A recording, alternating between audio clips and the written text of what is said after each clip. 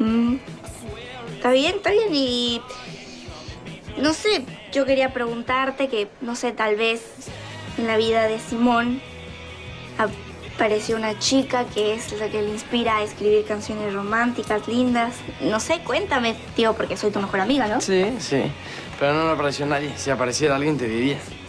¿Seguro? Sí. Bueno. ¿Y Ámbar? ¿Qué onda con ella o qué? Ámbar es una chica que, que viene aquí al Jam and Roller. Ay, sí la conozco. Es güerita. ¿Cómo? No, pues Ámbar es mi amiga y punto. Bueno, que sea tu amiga no significa que no puedas sentir algo por ella. No sé. ¿De qué te ríes? Estoy hablando en serio. Luna, ok, yo también quiero hablar contigo en serio. ¿Qué onda? ¿Qué onda qué? Ve al grano, porque me estás preguntando muchas cosas que no entiendo. Te escucho. Nada. O sea, Yasmín me, me contó que el otro día, pues los vio así como. como Ah, ya, ya entendí. ya, o sea, Ya, ya, ya, como bueno, que bueno. no, la distancia de amigos, Entiendo, ¿entiendes? entiendo. Como- Bueno, y hubieras empezado por ahí. Pero Jazmín se está haciendo una historia que no tiene nada que ver. Ámbar es mi amiga nada más. Bueno, mira, tú eres mi mejor amigo del mundo mundial. Lo que menos quiero es que. que te lastimen, Simón. Bueno, gracias. Gracias por preocuparte. Yo también lo hago por ti, ¿ok? Pero mira, Ámbar solamente me cae muy bien, ¿ok? Y ya. Aunque te tengo que confesar que últimamente hemos estado platicando mucho. eh, veo que a ella le gusta mucho la música, entonces eso me interesa a mí también, ¿no? Y me escucha y la escucho. Y en el fondo hay un Ámbar que yo no conocía y es súper buena onda. Es linda, no sé, pero, pero solamente es mi amiga, ¿entiendes? Creo que lo que a ella le hacía falta era un amigo que le escuche, o bueno, no sé si un amigo, pero alguien que le escuche de verdad, ¿entiendes? Bueno, siempre ves el lado lindo de las personas. Mm, lo aprendí de Luna Valente, no sé si ¿Ah, la sí? conozcas. No, no creo que no. Bueno, yo más o menos, ¿eh?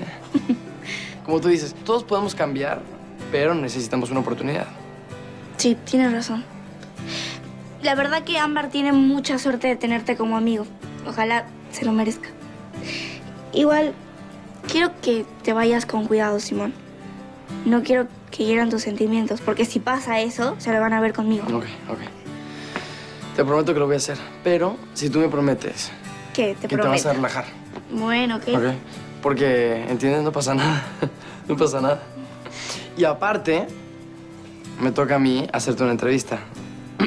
¿Cómo va todo con Mateo? Bien, todo bien. Luna, Bueno, vámonos, ¿no? ¿segura?